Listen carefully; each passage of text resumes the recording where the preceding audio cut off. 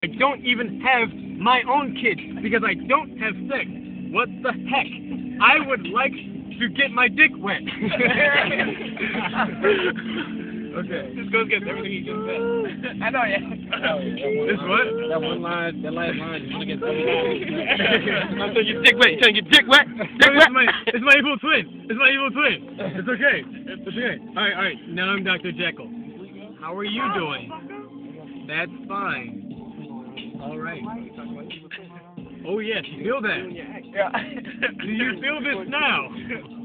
Can you hear me now? Good.